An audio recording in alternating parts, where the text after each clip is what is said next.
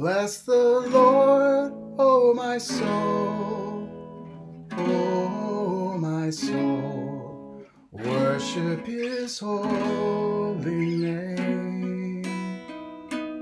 Sing like never before.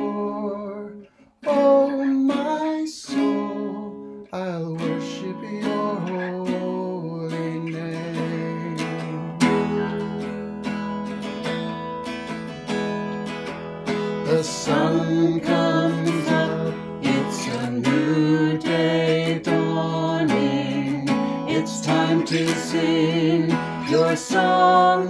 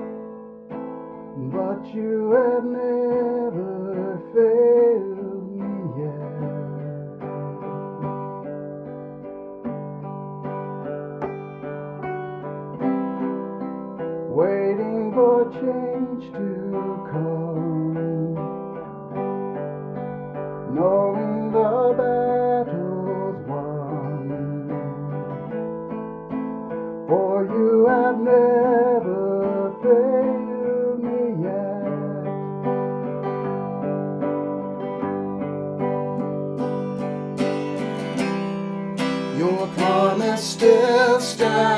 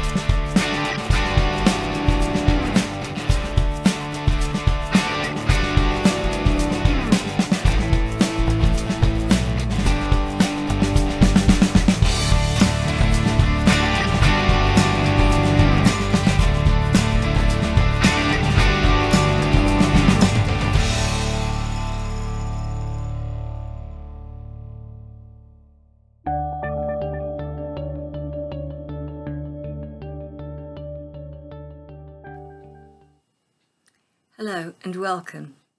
Our prayers for the Sunday after Ascension and our scripture to take us into prayer. I am the vine, you are the branches. He who abides in me and I in him bears much fruit, for without me you can do nothing. Let us pray. Blessed are you, Lord our God for you have created us out of your love and for your love. We know that we abide in you and that you are in us by your Spirit. As you love us, help us to love one another, Father, Son, and Holy Spirit. Bless the Church with the knowledge of your indwelling presence. Give wisdom to all who go out in mission and all who preach your word. We pray for the young in faith that they will be given the opportunity to grow and bear fruit. We give thanks for all who have shared their faith with us. In our turn, may we also bear fruit and bring others to the love and presence of our God. Lord, you abide in us. May we abide in you. We remember the nations of the world, and especially those who are not at peace. We ask your guidance on all who care for the world's poor, refugees and war-torn peoples. We pray for a time when the kingdoms of this world may become the kingdom of Christ our Lord. We pray for this country, for our leaders, and all who are in positions of authority, remembering those who will make decisions that will affect our everyday living during this pandemic. Give them wisdom as they decide about any change to lockdown. We pray for a breakthrough in the ongoing medical research, for all who are working towards a solution to end the spread of this virus. And we continue to pray for the safety of all who risk their lives for others, all hospital staff, care workers, and key workers. Lord, you abide in us.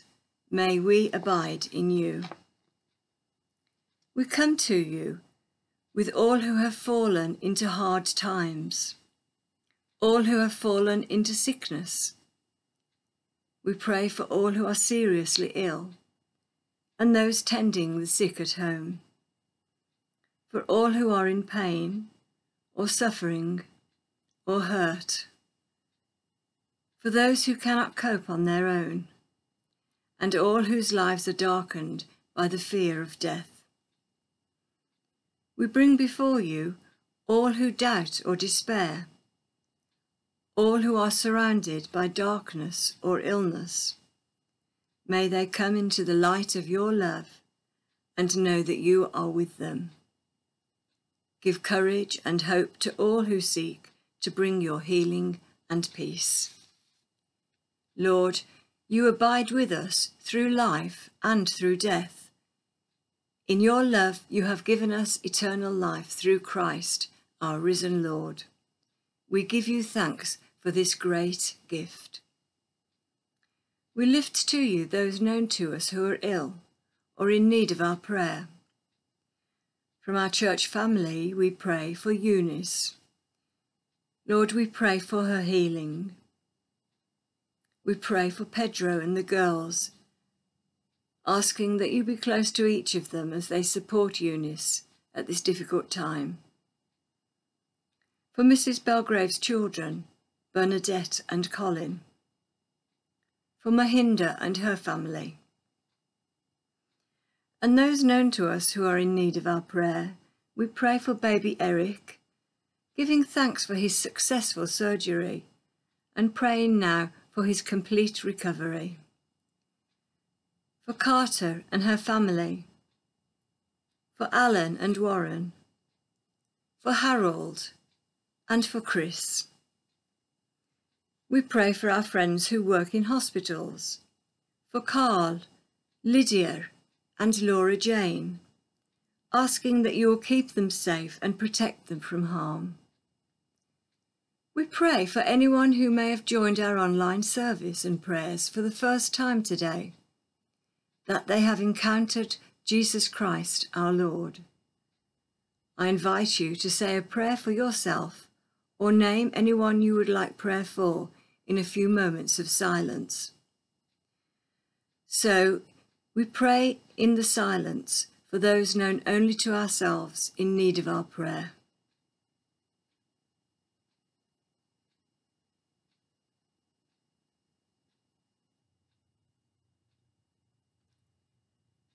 Whoever accepts Jesus into their lives, God abides in them and they in God. We join together in saying the Lord's Prayer in whichever language or version you prefer.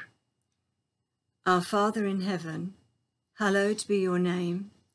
Your kingdom come, your will be done, on earth as in heaven. Give us today our daily bread Forgive us our sins, as we forgive those who sin against us. Lead us not into temptation, but deliver us from evil. For the kingdom, the power, and the glory are yours, now and forever. Amen. And our final prayers. Lord, we thank you for your love and care towards us. When the way is dark and life is hard, help us to believe in you and not be afraid. Let us trust in your power and your love and know that you are our Saviour. And the blessing. May the Lord be with us always to uplift us out of darkness, to inspire and to guide us. And may the blessing of God Almighty, the Father, the Son, and the Holy Spirit be amongst us and remain with us always. Amen. So thank you. If you've joined us for the first time and would like to talk with one of us about the Christian faith, or if you have any questions about becoming a Christian, then please get in contact with Stechford Baptist Church. The, uh, the address for that is stechfordbaptist.org.uk and we will be in touch with you. Thank you.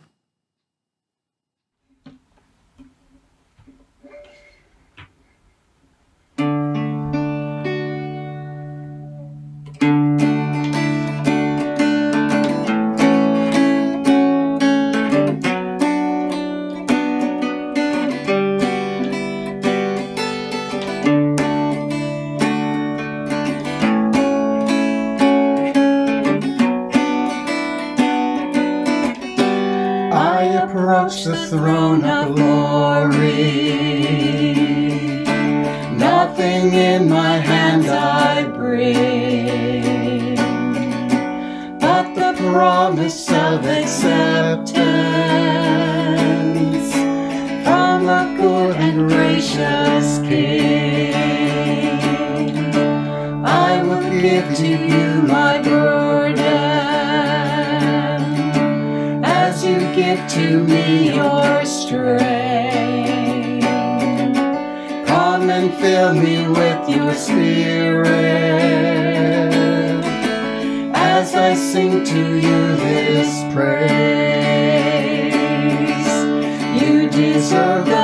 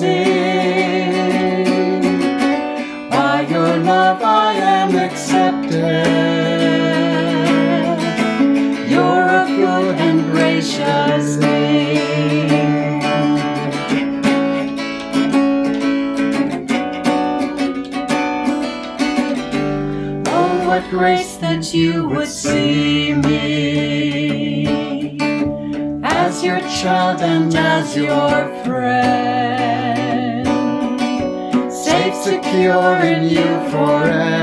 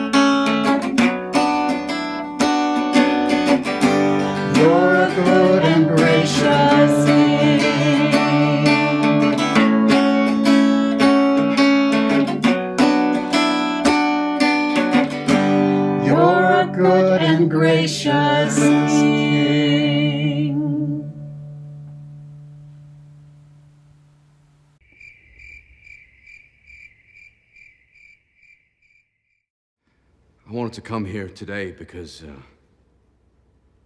five of my players are here.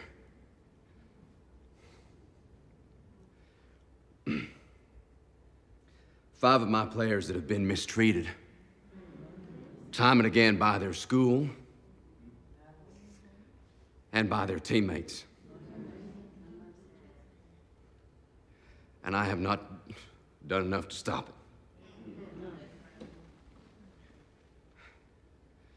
Now, at the beginning of this season, um, my team, almost my entire team, they gave themselves to love.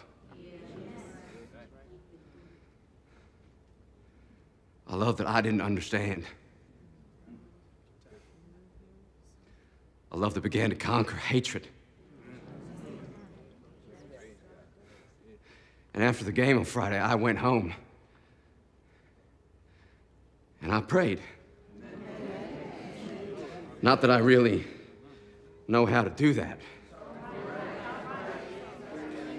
But I told God that I don't know if you're real. But I want I want whatever my players have.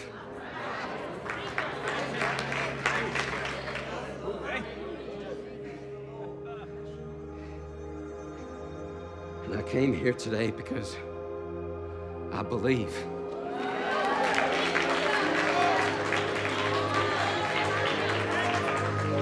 I believe and I want to be baptized.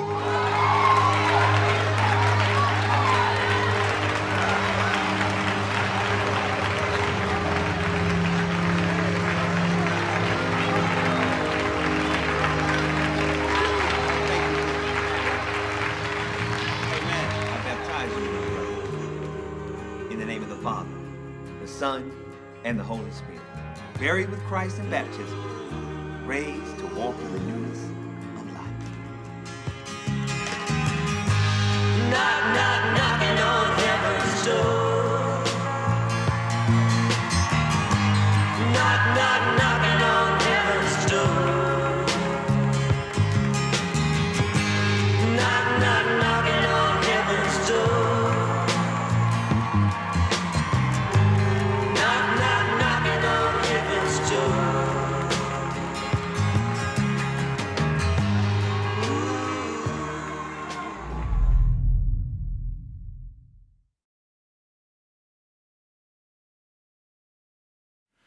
Good morning. We're going to continue our study on the Gospel of John. We're going to be looking at chapters, uh, sorry, chapter 15, verses 1 through 17 this morning. And the title of the message is What are the signs of a fruitful disciple? What are the signs of a fruitful disciple of Jesus Christ?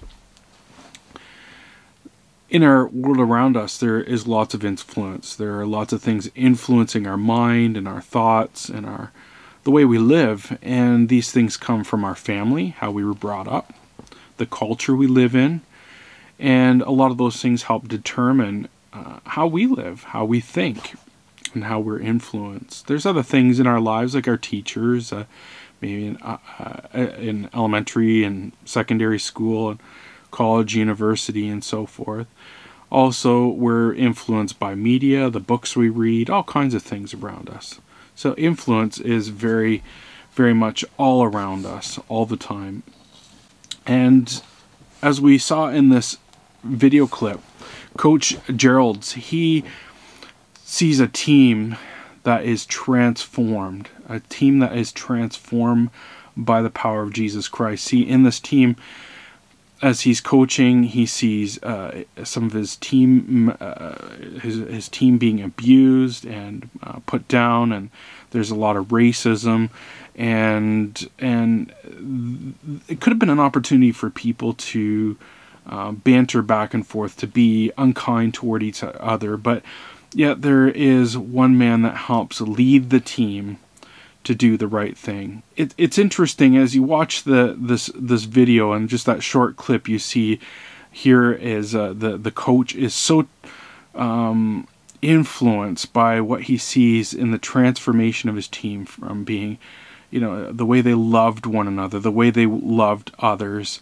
and you know the disciples when they met Jesus they were they were influenced by him in such a powerful way. They learned from him. They lived uh, with him every day. And in so doing, you know, after um, the day of Pentecost and the church um, it, begins, and, and here Peter preaches this amazing sermon. Over 3,000 people get saved, and the church starts in Jerusalem. And as it goes out over the next number of centuries, it radically changes many parts of the world. This message, this message of love and and hope and joy and forgiveness and and obedience to God through Jesus Christ. And it's it's an amazing story. It's a profound story because we see one man, Jesus Christ, who lived on this earth about 33 years, and in, and in three and a half years turned the whole world upside down. I don't know anybody else that has had the same kind of influence in three and a half years uh, that Jesus did. But Jesus wants to influence your life, and He wants to influence my life as a disciple. And in order to influence our world and come to Him and bear fruit, uh, what what are we supposed to do? How what does this look like? How, what does this mean for us? And so we're going to look today at uh, what it means to live a fruitful life as a disciple of Jesus Christ that brings glory to God. So we're going to look at that. And so the first point is this from the Gospel of John, chapter 15. Fruitful disciples develop a right relationship with Jesus. Fruitful disciples develop a right relationship with Jesus. Jesus, in this passage, he uses this amazing metaphor. Um, he says in chapter 1, uh, chapter 15, verse 1, I am the true vine, and my Father is the gardener. He cuts off every branch that bears no fruit, while every branch that does not that, that does bear fruit he prunes, so that it will be even more fruitful. See in verse one, Jesus calls himself the vine, the true vine. It's not just any uh, vine, and and in Jesus' time, in the time of uh, Israel, there there would have been many vineyards around. There is today there as well, and growing grapes was a very uh, uh, big deal for, for many farmers, uh, and and many people drank the fruit from the grapes. It was it was uh, part of life back then, and as it is in, in many parts of the world today. So Jesus looks at this vine, or maybe he's walking by a vineyard, and he says, "I am the true vine. I'm the true vine." You know, there there's lots of people that came before me, lots of prophets, lots of teachers, but you know what? I am the true vine. I am the real vine, and my Father is the gardener. And uh, it's really important for us to understand that in planting, in planting a vineyard, that um, you must plant a, a, a good vine, a quality vine, in order to produce great quality uh, fruit. And a, a low quality vine is not going to produce very is not going to produce great fruit. It takes a good vine to produce good fruit. And so Jesus says, I am that real vine. I am the one that can produce, uh, help produce that, that good fruit. And in verse 2, it's uh, Jesus talks about the fact that um, there's pruning and tending that needs to take place, and this is important to grow a good fruit. And and um, I just remember as uh, when I was a bit younger, many years ago now, I guess, I used to live near Niagara Falls in the city of St. Catharines. I used to drive school bus in an area just north of uh, St. Catharines and Niagara Falls called Niagara on the Lake. Beautiful area of Ontario and there they, there are many many many vineyards because it's kind of a microclimate and it's a great place a great area to grow grapes and so there are many world-class vineyards there in that area and i remember driving by uh, especially during the winter later uh, as you get close to the mid to later winter uh, the the the the vineyard owners would have workers out almost all day working tending the uh, vineyards. I'm going to throw up a picture to kind of see.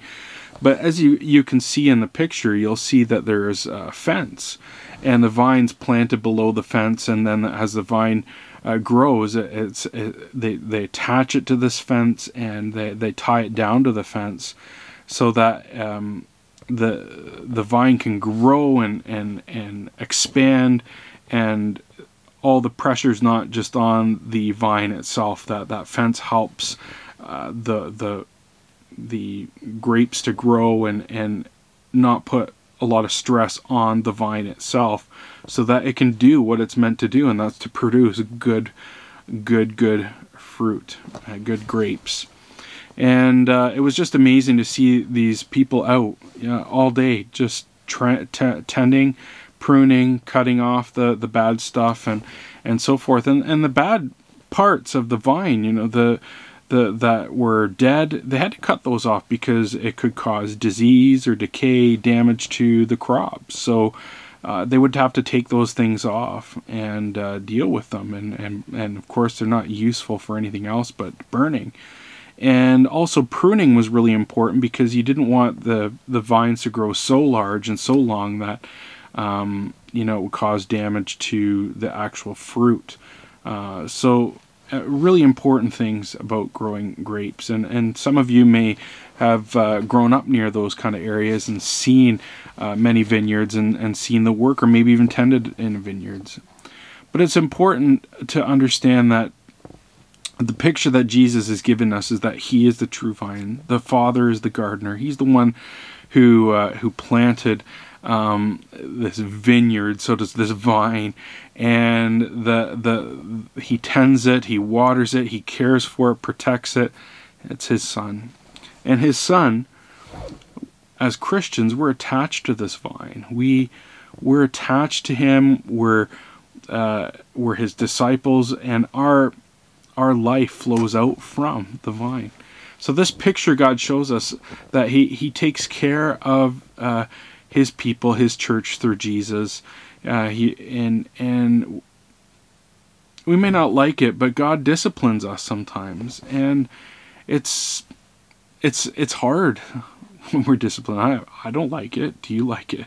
I don't like disciplining my my children. Uh, you know, sometimes uh, it's difficult, but sometimes it's necessary in, in order for our, our, our good and our, our children's good. And uh, so God allows us to be disciplined so that we can grow, so we can mature, so we can produce better fruit, so we become more loving, more caring, more concerned, more compassionate for other people.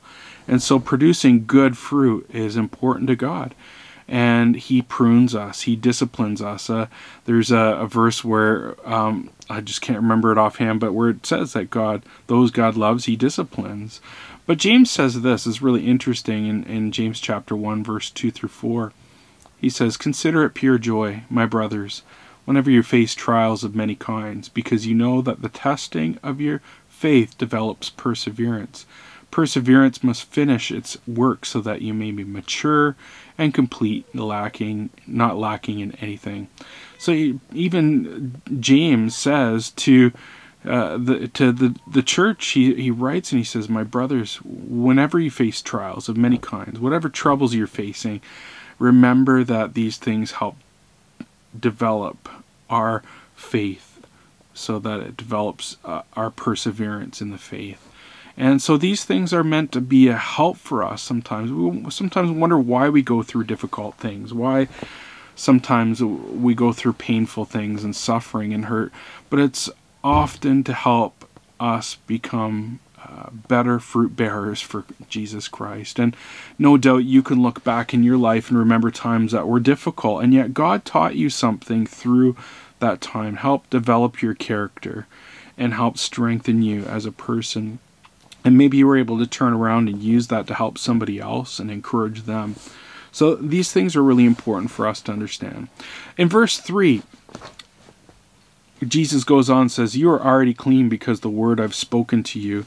Uh, in chapter 13, verse 10 of John, Jesus points out the story in the story of uh, the foot washing, where he washes the disciples' feet, that um, all the disciples were clean except he says there's there's some that aren't and he's referenced John says the reference is to Judas who would betray Jesus that he was not a true disciple that he was a, a branch that was not clean so to speak a bad branch that was cut off those who are in Jesus are united to the true vine they're clean because of Christ and and what he's done for them but those that are not of the vine, they're not clean. They they they don't do the things that honor God. They are not in Him, and so that fruit is not flowing out of their life in the same way that a true disciple, that love and that that that that care, that concern, that that way of living that Jesus lived for us.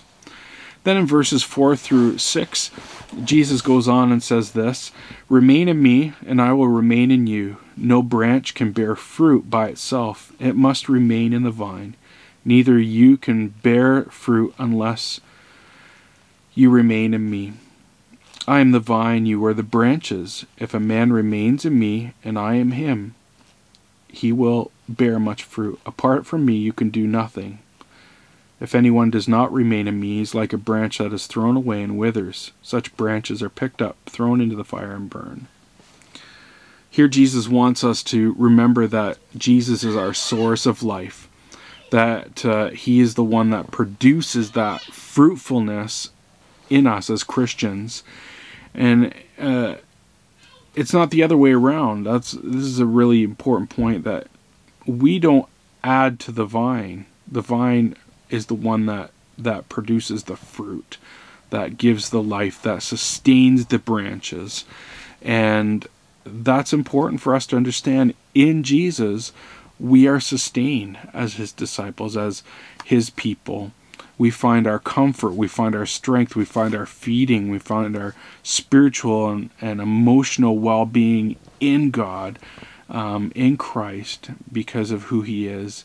And the more we spend time with him, the more we grow in our fruitfulness uh, in Him. So Jesus calls us to remain in Him. He is the true vine, and we are to remain in Him. As Christians, we must remember He is the true vine, and uh, that we are to live close to Him. If we are to remain effective, effectively good fruit bearers for Jesus Christ, it and, and and glorify God and grow as believers, we must remain close to Him. And we can't try to do things on our own. Some of us try to do those things. We try to think, well, I, you know, if I can just do this or do that, I can fix this on my own.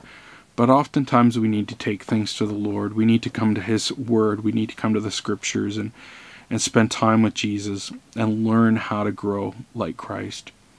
So how how do we how do we remain in Jesus? That's a a good question, isn't it? Uh, we must spend time, I believe, studying His Word, studying how Jesus lived. Look at, at His life. Think about how He lived among the people and and spend time in the gospels. That's not to say that the other books of the bible aren't important because they are. But if we want to see how jesus lived and the things that he taught and the things that he he want how he wants us to live how we can produce fruit then we must spend time with him. And spend time in prayer and meditating on god's word. And as we pray as we talk with him we will grow. As we meditate on his word we will grow. And we will become we will become more like him so the lesson for us as a church is as we go, as we as we sometimes we we we can sing the songs, as we we can go to church and be with God's people. Um, just because we are in proximity to God's people or the Bible does not necessarily mean that we are his disciples. Doesn't necessarily mean that at all because Judas spent all that time with Jesus and yet he wasn't transformed. So not everybody that comes into contact with Jesus is going to be transformed by Jesus. We we hope that they will be. Jesus hopes that they will be, but not everybody is. And we have to be careful because sometimes I think there are people who think, "Oh, I'm I'm at church. I'm close to God's people and close to God's word and but they they they don't know Jesus. That church is just a thing that they do. That religion is just a thing for them. But they don't believe. They don't trust in Jesus. They're not living with Jesus. They're not spending time with Jesus. They're not trying to live out Jesus in their life every day. So this is important for us to understand. We must come and remain in Jesus, to find our life in Him, to uh, you know eat and breathe and live with Him. And I know this is a struggle for many of us. There are so many things pulling at our time, pulling for our energy, pulling for our emotional and our thought life. And sometimes it's really hard to find that time to spend with Jesus. But it's vital to our growth in Him, vital for us if we want to bear good fruit for God and for His glory and for Jesus, to spend time with Him. So, my question to you do you know Jesus Christ as your personal Savior? Is he, do you know that He died for you on the cross, that He rose again for you, that He paid the price for your sins and has set you free from those sins? If you will just come and believe and trust in Him, you can't earn it. It's not something that you can buy Jesus paid the price already 2,000 years ago on the cross. He paid the price that God demanded for your sin. He paid the price that God demanded, and he, he took it on himself, that punishment, and he says, You can go free if you will trust in me, if you will believe in me. But you've got to come recognizing that you are a sinner understanding that you have sin in your heart, that you have offended God. I've offended God by the things we've thought over the years, the things that we've said to, uh, to God and to other people. There are many times, and we've got to repent and come to Jesus Christ. And He offers forgiveness for us. He offers to save us from our sins once and for all by putting our trust in Jesus Christ. Have you done that today? Will you do that today? Will you trust Him and become part, one of those branches that's a part of Jesus' vine and being able to produce good fruit? And we're going to get into a little bit more what that fruit looks like in a moment. But in verses 7 and 8, Jesus says this If you remain in me, and my words remain in you, ask whatever you wish, and it will be given to you. This is my to my Father's glory that you bear much fruit, showing yourselves to be my disciples. In this verse, Jesus tells us something uh, of the fruit that we will bear if we're part of Him, part of that true vine. As we remain in Christ, as we get to know Him, uh, the things that are important to Jesus, the things that are on His heart, the things that He desires, which are perfect and holy and good, become the desires of our own hearts. But we got to spend time with Jesus and God and His Word to know what those those those things are, so that we can produce uh, that good fruit. It's interesting that He says, "If you remain in Me and My words remain in you, ask whatever you wish, and it will be given to you." Now He's not talking about us just praying and asking for I want a Lamborghini in my front front garden today. I want uh, you know a, a nice uh, helicopter that you know can fly me over, or, or even just little things like I want this or I want that. He's not he's not talking about the things that we necessarily selfishly desire, but what he's talking about here is if you remain in me, as you get to know me, as you spend time with me, as you live with me and I in you, then you're going to produce the fruit that comes out of that. And you're going to desire to produce more fruit. And in our prayer life it's going to be reflected that as we pray we're going to be praying uh, the desires of God the desires of Christ you know to to do what's right to to love one another to love our enemies and do good to those who hate us and uh, and try to hurt us and persecute us. You know, He's taught us so many things, and as we read and as we study these things, and as we spend time with Him, then those desires they well up within us. And as we pray, those the kind of things that God will answer as we remain in Him. It's not a selfish kind of a, a prayer that he's asking and saying, well, if you just selfish, you know, if you if you believe in me, then you can ask whatever you want. I'm going to give it. No, no, no.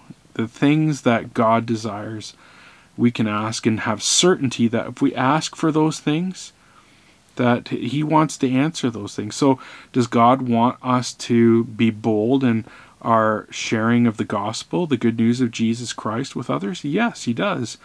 So, we can pray for boldness. Paul prayed for that in his letters. He asks prayer for boldness because he knows that is important to God. Do we pray for unity? Do we pray for love? Do we pray for joy and peace and kindness and all the fruit of the Spirit in our life? Yes, we, we pray for these things because we know that they honor God.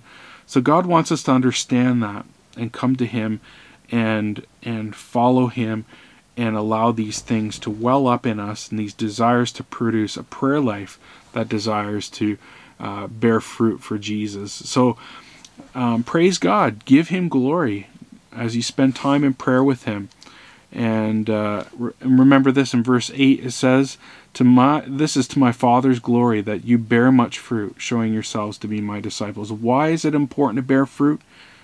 It is to bring glory to God. That is the chief end of men, the Westminster Confession of Faith, to bring glory to God. That is our purpose in life. And as Christians, that is our purpose to bring glory to God. God's glory. What does that look like? So, how are you doing at bearing fruit for Jesus? How are you doing at praying prayers that de- of the desire of what things that God wants from for us to pray for? And then, second point is this: true disciples produce the fruit of love, joy, and obedience. True disciples produce the fruit of love, joy, and obedience. In verses 9 through 11, Jesus says, As the Father loved me, so I have loved you. Now remain in my love. If you obey my commands, you will remain in my love, just as I have obeyed my Father's commands in his love. I have told you this, that your joy may be uh, so sorry, I've told you this so that my joy may be in you and that your joy may be complete. So here again, Jesus is showing us an example of love for us to follow. The example of love is his relationship with the Father. He says, "As the Father loves me, as I love the Father," you know, um, th- this is our example. Remain in my love.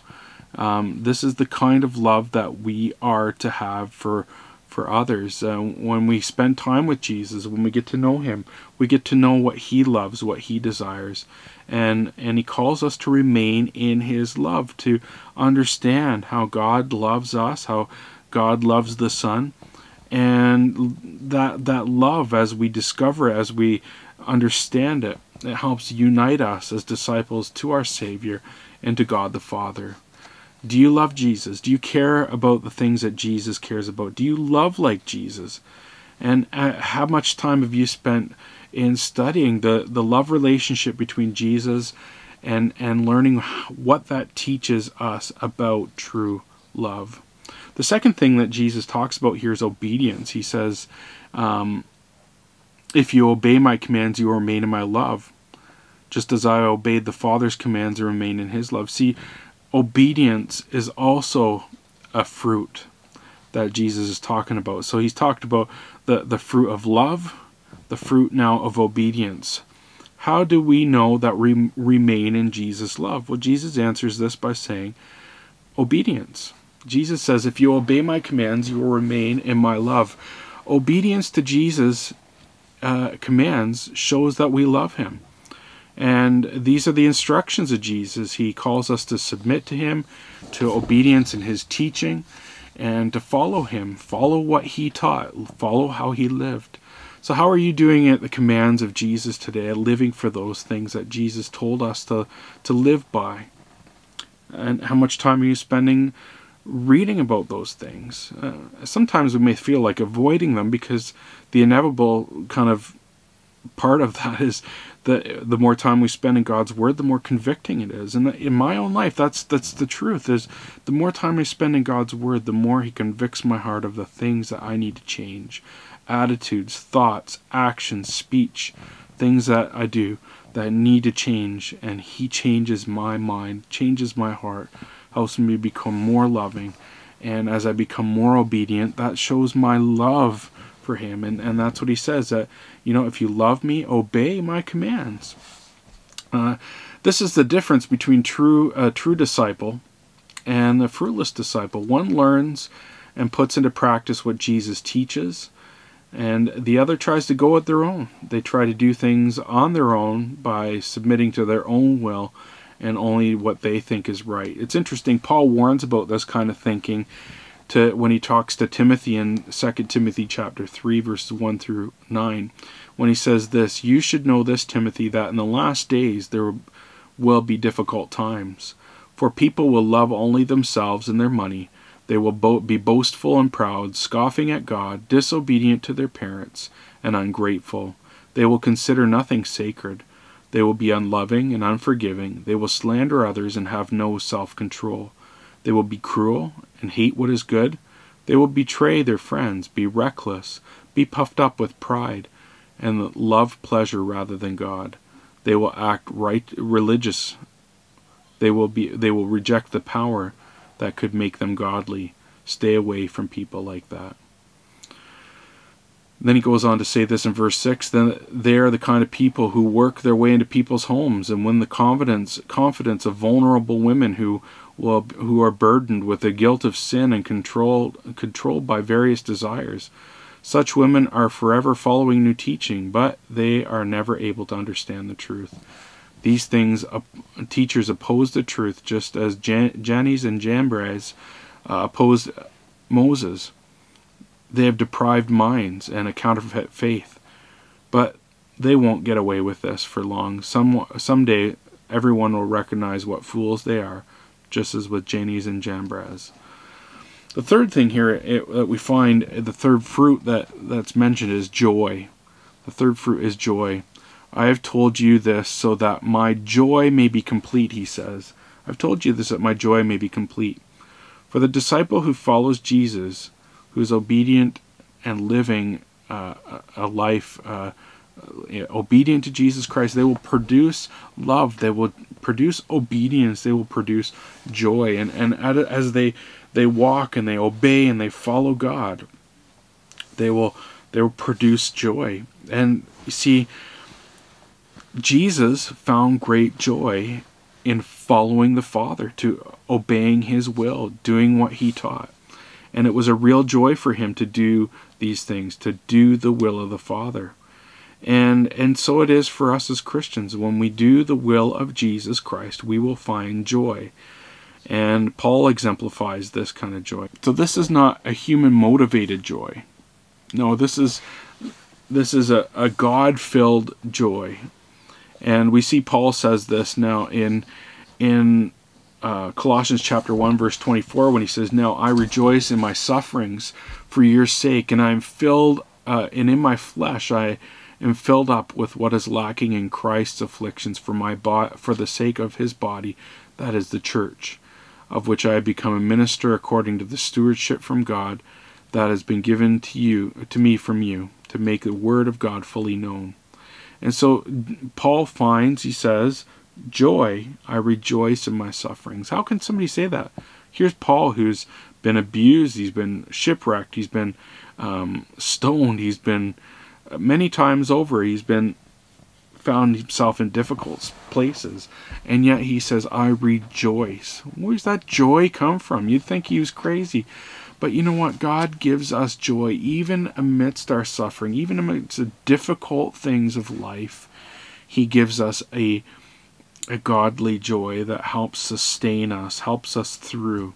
And there's so many times I've met with people in the hospital that have been sick and dying, and and those have had um, some some great challenges in life, and but I found that those who are true believers, there's this sense of joy, even amidst the pain, even amidst the suffering, because they know that God is with them. They have a the sense of God's presence, and they know that one day soon there will be with Jesus forever, with God forever. And that's an encouragement. It's encouragement for me, hopefully, an encouragement for you as well.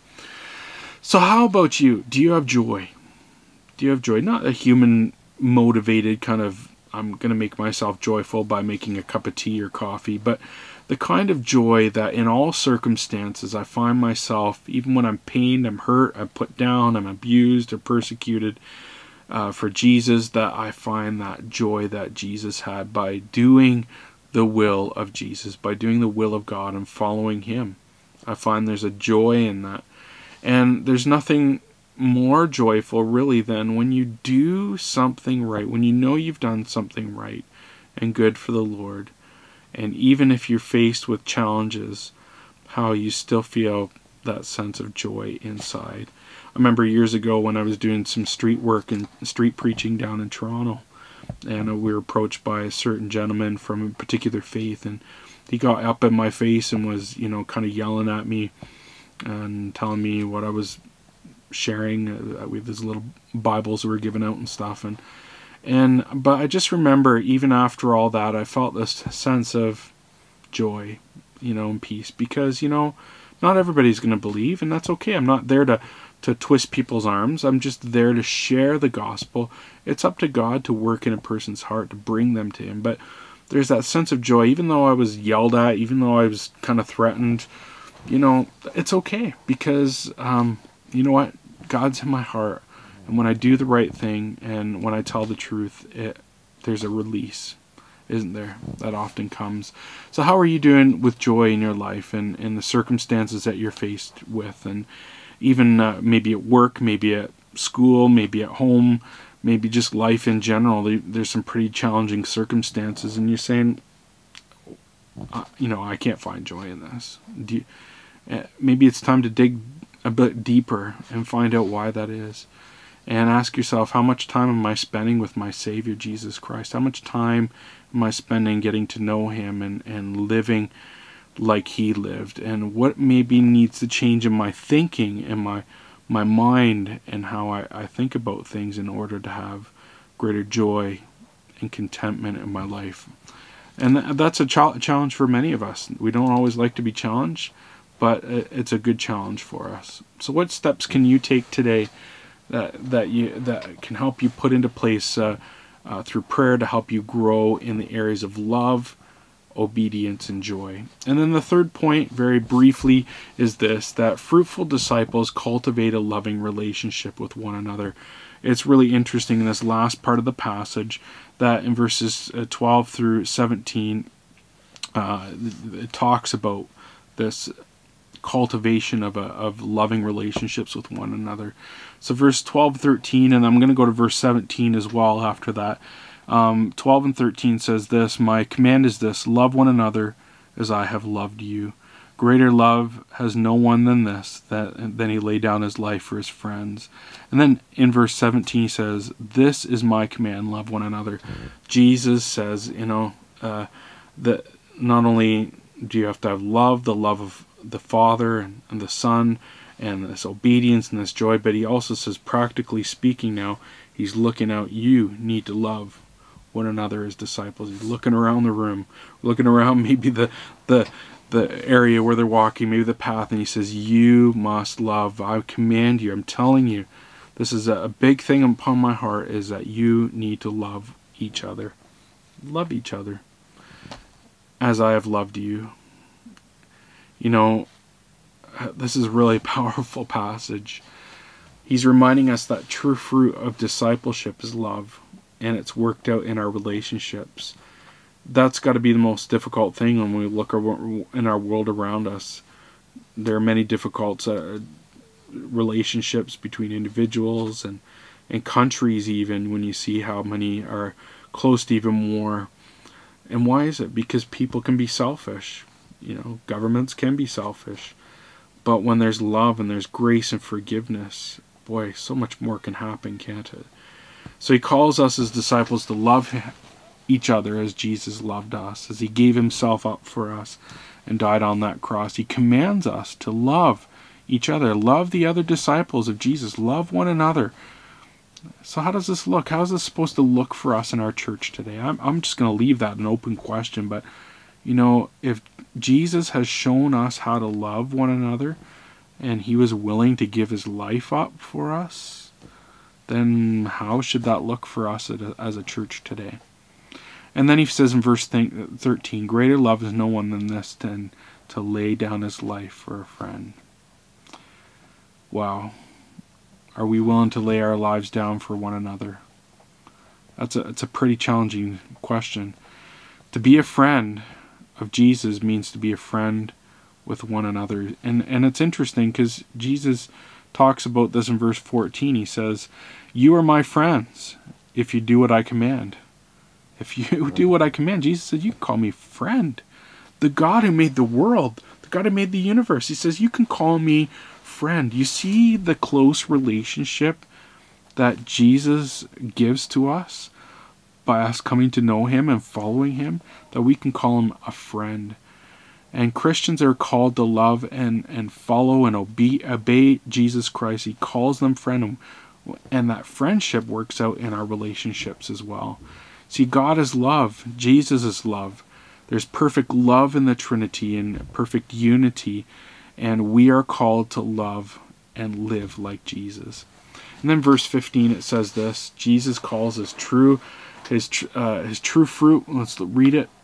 I no longer call you servants because a servant does not know his master's business. Instead, I call you friends, for everything I have learned from my Father I have made known to you. Jesus calls his true fruit bearing friends, uh, disciples, friends.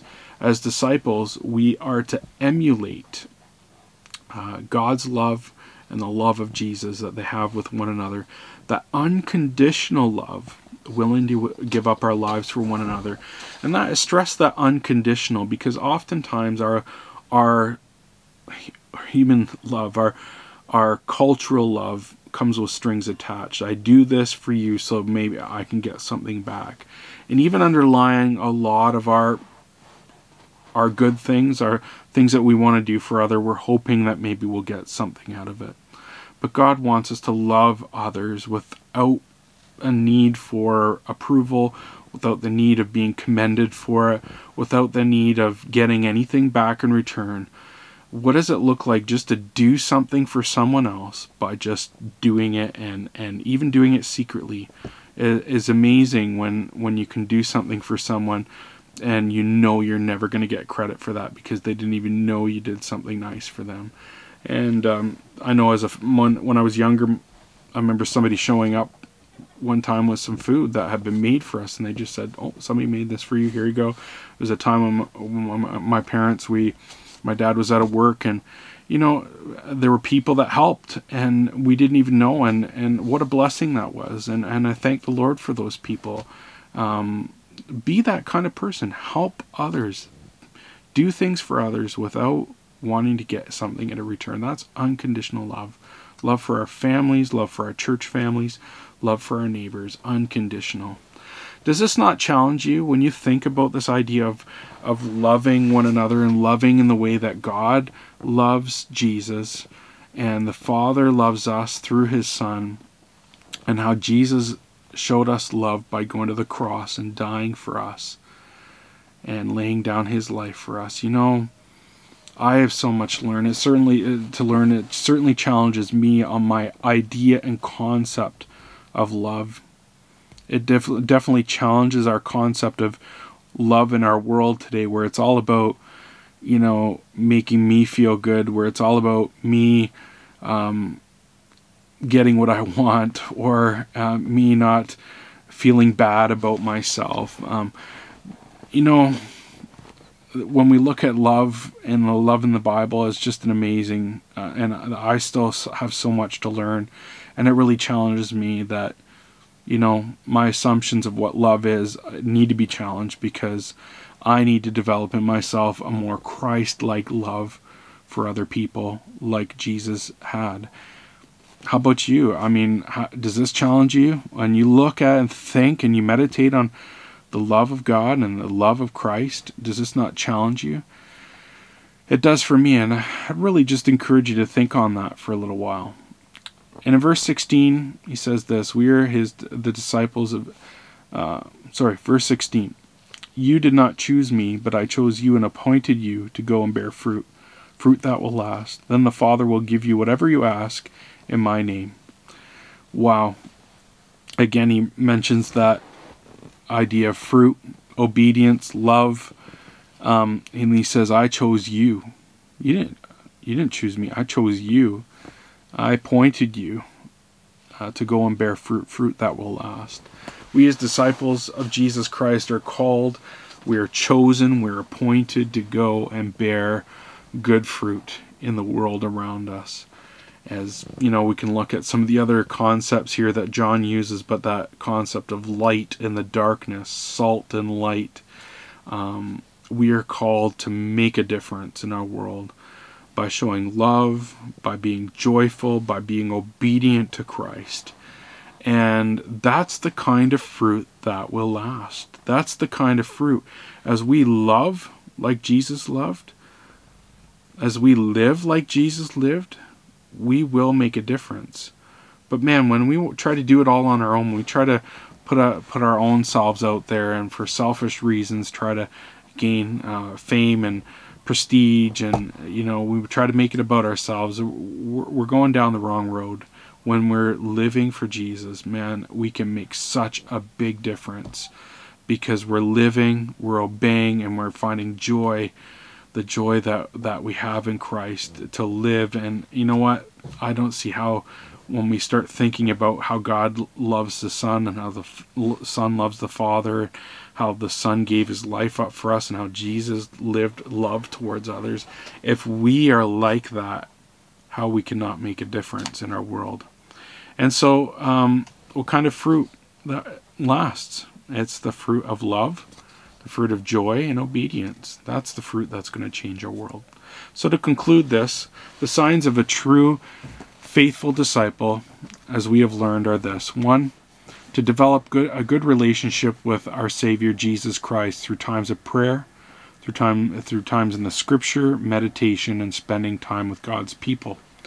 Secondly, we learn that a true faithful disciple is a disciple who produces the, the fruit of love and joy and obedience in their lives.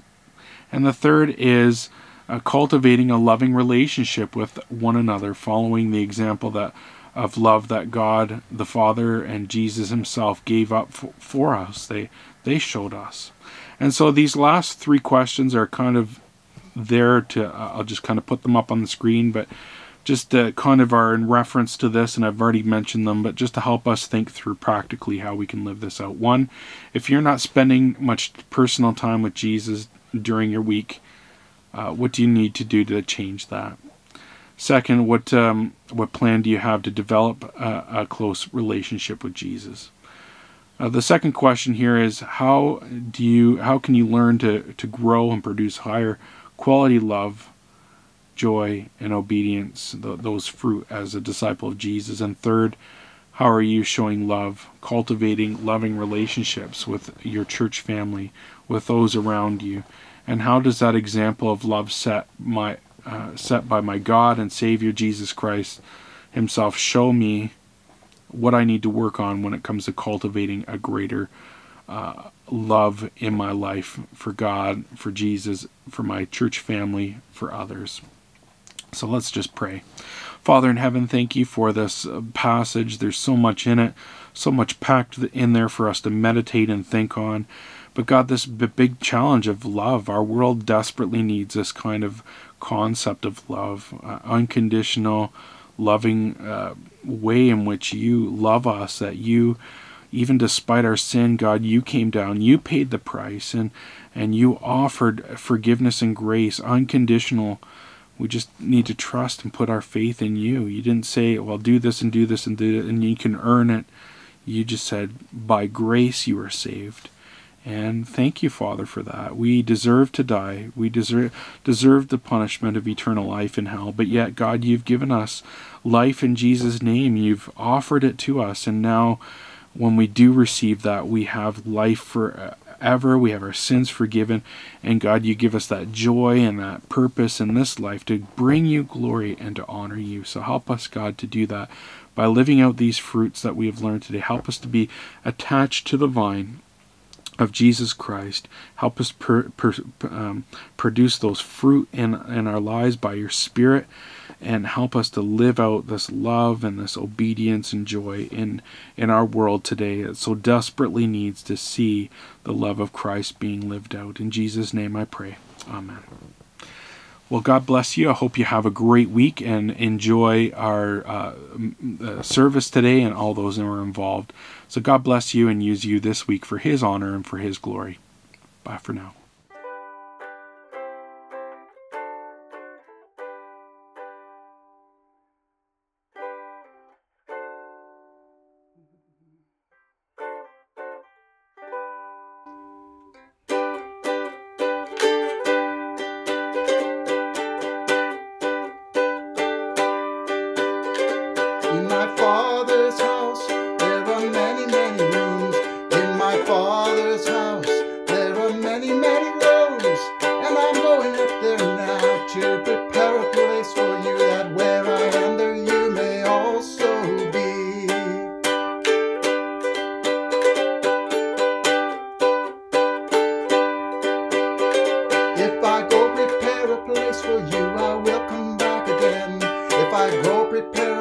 So